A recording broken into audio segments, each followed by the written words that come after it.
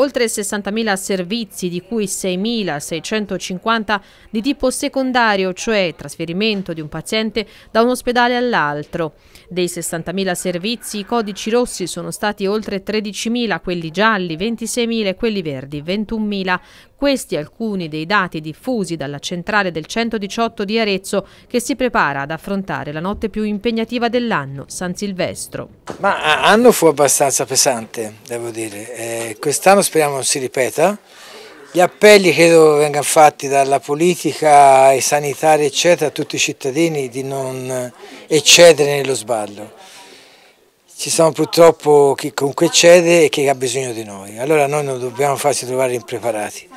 Noi abbiamo un, un modello abbastanza standardizzato, ogni festa ha una sua gestione cioè una festa una, in piazza eccetera avrà la sua ambulanza, le sue cose eccetera, ma a noi non ci basta che ogni festa sia gestita comunque da un mezzo di soccorso, quindi potenziamo anche la presenza di personale in centrale e la presenza in più in città di un personale sanitario.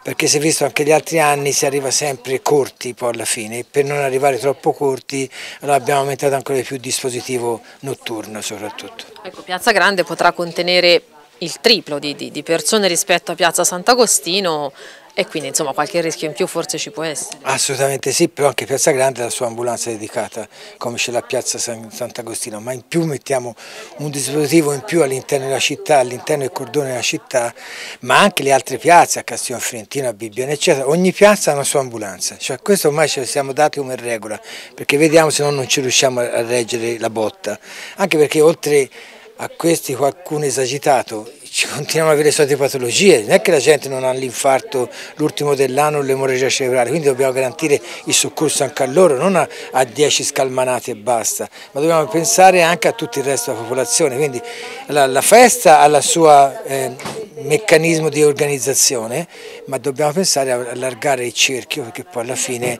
finita la festa, il problema si ripercuote sulle strade. Dal punto di vista dei vostri turni di copertura di queste festività, che ovviamente anche essendo operatori del 118 hanno tutto il diritto di farlo no? con le proprie famiglie, ma c'è una statistica, ogni quanto un operatore del 118 può passare a casa il Capodanno? Ma insomma, questa è una bellissima domanda, con la carenza di personale che abbiamo, credo che le feste gli operatori del 118, sia medici che infermieri, la maggior parte li passano nel lavoro. Eh, pochi sono gli eletti fortunati che vivono le feste a casa.